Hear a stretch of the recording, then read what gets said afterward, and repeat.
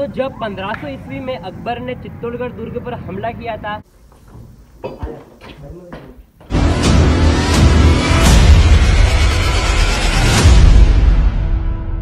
तो हेलो नमस्ते जय महादेव दोस्तों उठाइए अपना फ़ोन और देखिए अपने फ़ोन पे ब्लॉग तो दोस्तों आज की वीडियो बहुत ही अच्छी होने वाली है और बहुत ही इन्फॉर्मेशन टाइप होने वाली है क्योंकि आज की वीडियो में हम आपको बताने वाले हैं चित्तौड़गढ़ के जितने भी दुर्ग के द्वार है यहाँ से आपको सात द्वार मिल जाएँगे।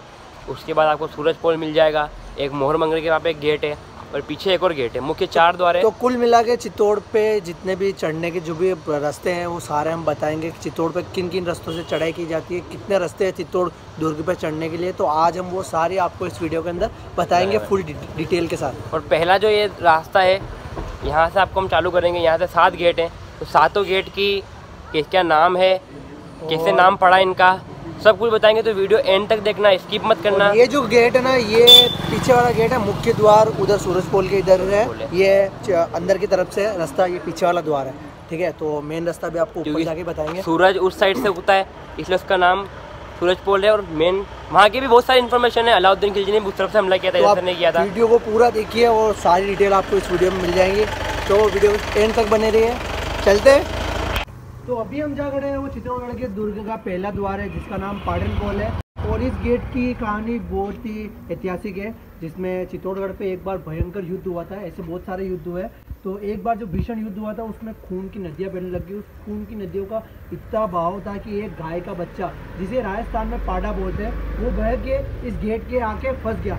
तब से इस गेट का नाम पाडन पोर्ट पड़ गया। तो आइए अब दूसरे गेट की क्या कहानी है, वो हम आपको बताते हैं। तो चलिए। दोस्तों, अभी हम खड़े हैं चित्तौड़गढ़ दुर्ग के दूसरे दरवाजे पर और यहाँ का इतिहास भी बहुत ही अच्छा है। जिसका आपको दिख रहा होगा, पीछे जो आपको छः छतरी वाली गुम्बज दिख रही है, वो भी जयमल जी की है। तो इसी के बाद आपको चार छतरी वाली एक और गुम्बज देखने को मिलेगी, वो उनके मित्र कल्ला जी राठौड़ की है। तो जब पंद्रह ईस्वी में अकबर ने चित्तौड़गढ़ दुर्ग पर हमला किया था और राणा उदय सिंह की अनुपस्थिति में चित्तौड़गढ़ दुर्ग का भार कल्ला जी और जयमल जी पर सौंपा गया था और रात्रि के मध्य जब युद्ध का खत्म मतलब युद्ध खत्म नहीं हुआ था, युद्ध चल रहा था तो रात्रि के विश्राम समय में किले की एक मीनार अकबर के हमले के कारण टूट चुकी थी। और उसी को सही करते वक्त जयमल जी का पैर अकबर की गोली से घायल हो चुका था, जिसकी वजह से अगले दिन वो युद्ध में कल्ला जी के कंधे पर बैठकर उन्होंने युद्ध लड़ा और युद्ध के अंतिम सांस तक अपने युद्ध में अड़े रहे और यहीं पर उनकी मृत्यु हो गई। और वीर गति को प्राप्त हो गए। तो आप देख सकते हो हमारे राजपूत राजा कितने शूरवीर थे और अपनी भूमि के लिए उन्होंने कितना बलिदान दिया। तो उन्हीं के नाम से चित्तौड़गढ़ दुर्ग का दूसरा दरवाज़ा रखा गया है। चलिए अब हम चलते हैं चित्तौड़गढ़ दुर्ग के तीसरे दरवाजे पर और आपको उसका इतिहास बताते हैं।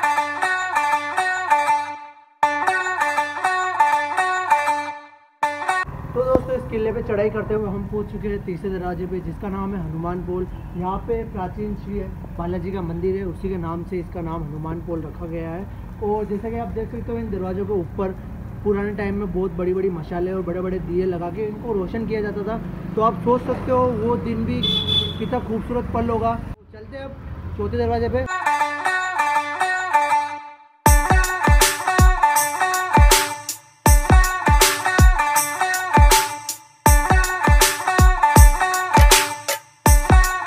तो दोस्तों, अभी हम खड़े हैं चित्तौड़गढ़ दुर्ग के चौथे दरवाजे पर, जिसका नाम है गणेश पोल। जी हाँ गणेश जी के मंदिर से इसका नाम रखा होगा बेशक। तो यहाँ पर एक प्राचीन मंदिर है श्री गणेश जी का। उन्हीं के नाम से इस दुर्ग का नाम श्री गणेश पोल रखा गया है। और यहाँ का भी इतिहास यही है, जिससे आप सभी को पता है, हमने पहले दरवाजे जो है पाडल पोल, वहाँ से मंदिर आते हैं। उसी पर प्राचीन समय में बड़े बड़े घंटे टांगे जाते थे, जिन्हीं को बजा कर दुर्गों को खोला जाता था, बंद किया जाता था। अब चलते हैं हम आगे वाले दरवाजे पर, जिसका नाम है आगे बताएँगे सस्पेंस रखिए।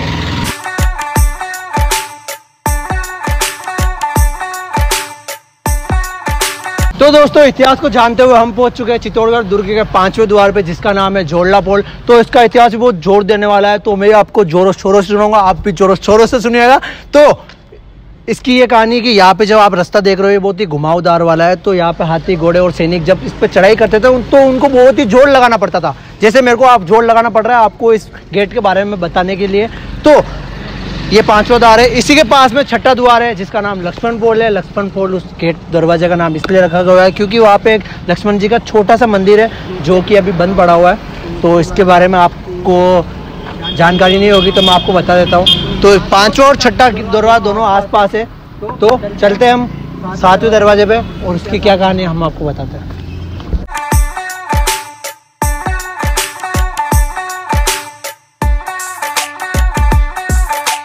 तो दोस्तों, अभी हम खड़े हैं चित्तौड़गढ़ दुर्ग के सातवें द्वार पर, जो कि चित्तौड़गढ़ दुर्ग का अंतिम द्वार है। तो यहाँ पर दुर्ग का नाम है श्री राम जी का द्वार, रामपोल। यहाँ पर राम जी का एक मंदिर है हमारे हिंदुओं के स्वराज। श्री राम जी का मंदिर छोटा सा मंदिर है, उन्हीं के नाम से यहाँ का नाम रामपोल रखा गया है।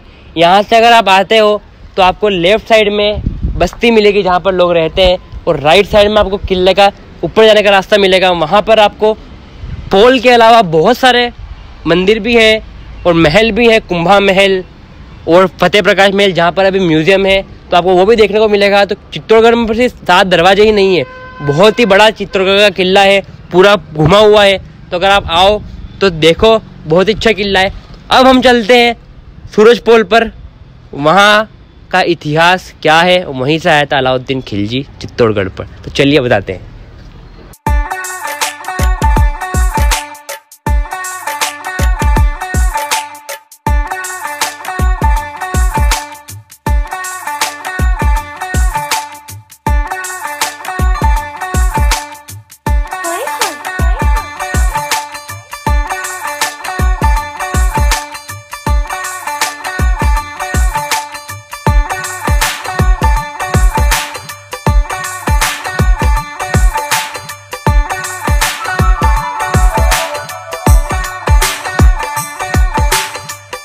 दोस्तों अभी हम आ चुके हैं सूरज पोल पर। तो यहाँ का क्या इतिहास है हम आपको बताते हैं। बहुत ही बहुत ही जोरदार है। जोरदार है। जैसे सात जैसे सात दरवाजे उस तरफ़ है वैसे ही सात दरवाजे इस तरफ़ भी हैं पर है नहीं वो थे क्योंकि मेन जो किले का जो फेस एरिया है वो यही है। तो सभी युद्ध इस साइड से होते थे। यहीं से किले पे चढ़ाई की जाती थी और यहाँ पे भी सात ही दरवाजे दरवाजे हैं जो भी टूट चुके हैं पूरी तरह से। कुछ कुछ दरवाजे बचे हुए हैं तो कैसे टूटे हैं? किसने हमला किया था? सब आपको बताएँगे। तो वीडियो को देखिएगा। और अभी तक आपने चैनल को सब्सक्राइब नहीं किया तो सब्सक्राइब कर दीजिए, वीडियो को लाइक कर दीजिए और ऐसी ही जानकारी के लिए हमें फॉलो कर लीजिए। आगे का इतना बताते हैं आपको। तो दोस्तों, हम आ गए हैं चित्तौड़गढ़ के मुख्य दरबार पर, जिसका नाम सूरज पोल है। जैसा कि आप मेरे पीछे देख सकते हो, आठवीं से सोलहवीं शताब्दी के जो राज परिवार थे, वो यहाँ पर रोज आके सूर्य देवता की पूजा करते थे और यही से सूरज उगता था, तभी से इसका नाम सूरज पोल पड़ गया है। तो यहाँ से भी सात दरवाजे हैं। तो दोस्तों, अभी हम खड़े हैं सूरज पोल की जगह पे, जो कि चित्तौड़गढ़ दुर्ग का मुख्य द्वार हुआ करता था। पहले के टाइम पे अब नहीं रहा है। तो यहाँ पे सात दरवाजे हैं जो अभी नहीं है, वो टूट चुके हैं। अलाउद्दीन खिलजी ने जब रानी पद्मिनी की सुंदरता के बारे में सुना और उन्हें हासिल करने की लालसा उसमें जगी तो सर्वप्रथम वो अपने एक से डेढ़ लाख सैनिकों के साथ इसी जगह पर आया था। देख सकते हो, पूरा नीचे सूरज गाँव बसा हुआ है। तो यहीं पे वो फ़र्स्ट टाइम आया था डेढ़ लाख सैनिकों के साथ और उससे हार मिली। हार मिलने के बाद वो थोड़ा आक्रोश में, गुस्से में रहा। फिर वो तेईस महीने बाद वापस आया और छः से साढ़े छः महीने तक उसने यहाँ पे डेरा बना के रखा और पूरी लालसा रखी रानी पद्मनी को देखने की। फिर एक बार उसने र- र- र- रतन सिंह जी से कंट्रोल करके, बात करके किले पर आया। उसने रानी पद्मनी की एक झलक देखी जो कि हमने आपको पहले वाली वीडियो में दिखाई थी कि कहाँ देखा था। आप देख सकते हो लिंक डिस्क्रिप्शन में मिल जाएगी। तो वहाँ पर उसने अलाउद्दीन खिलजी ने देखा और देखने के बाद वो पागल सा हो गया। और फिर उसने वापस से हमला करवाया चित्तौड़गढ़ पर और बहुत भयंकर युद्ध हुआ, जिसके बाद अलाउद्दीन खिलजी को अलाउद्दीन खिलजी ने रतन सिंह जी को धोखे से मारा और चित्तौड़गढ़ दुर्ग पर हमला कर दिया। सभी दरवाजे तहस नहस कर दिए। उसके बाद रानी ने अपने आत्मरक्षा के लिए कई रानियों, हज़ारों रानियों के साथ जोहर कर लिया, जैसा कि आपने रानी पद्मनी पिक्चर देखी होगी। इसमें आपको बताया गया होगा और आपको पता होगा। तो बहुत ही भयंकर युद्ध था और अपने गौरव की रक्षा के खातिर सभी रानियाँ जलती आग में कूद चुकी थी। तो यही इतिहास था। सूरज पोल का, सातों दरवाजों का। तो कैसी लगी आपको वीडियो बताना?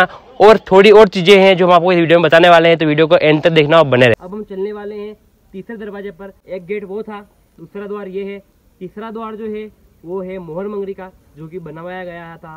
वो अभी बंद है मृगवन के हिसाब से बंद कर रखा है टूरिज़्म के लिए। तो उसको हम आपको बाद में बताएँगे जब वो खुलेगा। तो अब हम चलने वाले हैं चौथे दरवाजे पर। वहाँ को कोई भी गाइड लेके नहीं जाएगा, ना आज तक गया हुआ है कि वो जंगलों के अंदर है। और बहुत ही भयंकर रास्ता है, अभी तक कोई जाता नहीं है।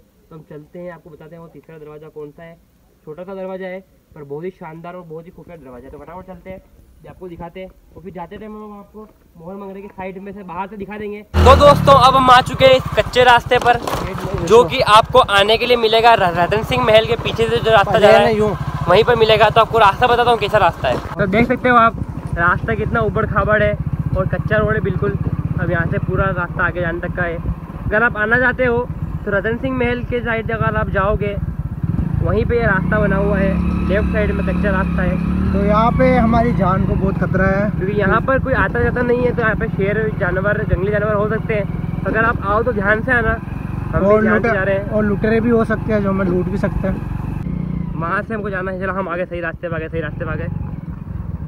तो ये तो इस रास्ते में जाने के लिए आपको किले की जो दीवार है उसके पास पास में से होके जाना पड़ेगा।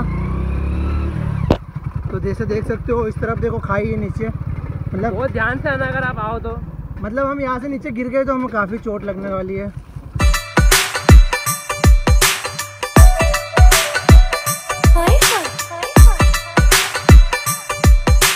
सिर्फ़ आपके लिए हम यहाँ पे आए हैं आपको दिखाने के लिए। रास्ता देख सकते हो आप बहुत ही भयंकर है।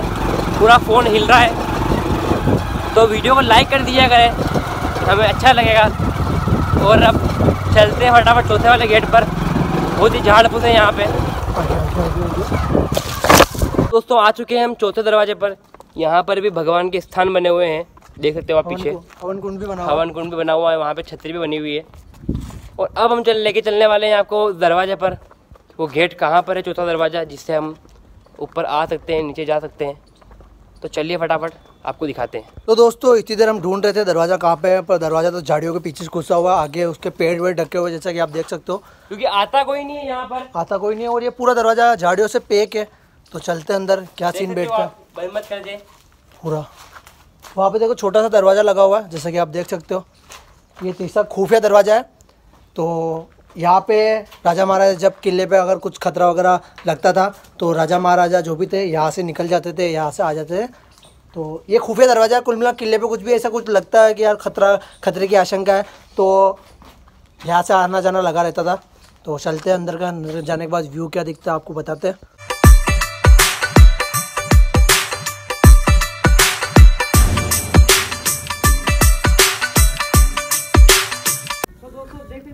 तो बहुत ही अच्छा है यहाँ पे। वो उधर साइड बिल्ला की वो फैक्ट्री है सीमेंट फैक्ट्री यहाँ पर भी मानपुरा साइड है ये मानपुरा एरिया है पूरा। आप देख सकते हो पूरा गुम्मच कितना खुफिया रास्ता है ये। हमें भी बहुत टाइम पहले पता चला था ये। आपको तो पता होगा नहीं क्योंकि आप यहाँ के हो तो भी आपको बहुत कम नॉलेज होगा। इसका कि यहाँ पे दरवाज़ा भी है। और आपको दिखाते हैं। तो दोस्तों ये था हमारा सातों दरवाजे सूरज पोल और चौथा दरवाज़ा। पांचवा दरवाज़ा मृगवन का है तो हम आपको दिखा नहीं पाएँगे अभी। पाँचवा दरवाज़ा चौथा दरवाज़ा। चौथा दरवाज़ा। तो उसके लिए हम आपको एक सेपरेट वीडियो बना के देंगे जब हमारा अंदर जाने का होगा। तो वीडियो कैसी लगी? लाइक कर दीजिएगा चैनल को सब्सक्राइब कर दीजिएगा। अब हम कंटिन्यू ऐतिहासिक वीडियो ही डालेंगे। हमने थोड़ा चाय की छाड़ लग के बीच में थोड़ी बकचोदी कर दी थी डेली लोग की। तो हम हर हफ़्ते वीडियो डालेंगे। कैसे भी करके आपके लिए ट्राई करेंगे, पर डालेंगे ज़रूर। तो आप सपोर्ट करिया करें लाइक करिया करें। हमें अच्छा लगेगा। पैसे तो अभी हमें मिल नहीं रहे हैं। पर आपके लाइक और शेयर करने से हमें अच्छा लगेगा। जब मिलेंगे तब भी आपको उसका पैसे का सही यूज़ करने की वो भी वीडियो आप हम डालेंगे आपको। तो बस वीडियो को एंड करते हैं। गुड बाय जय महादेव। बने रहिए हमारे साथ।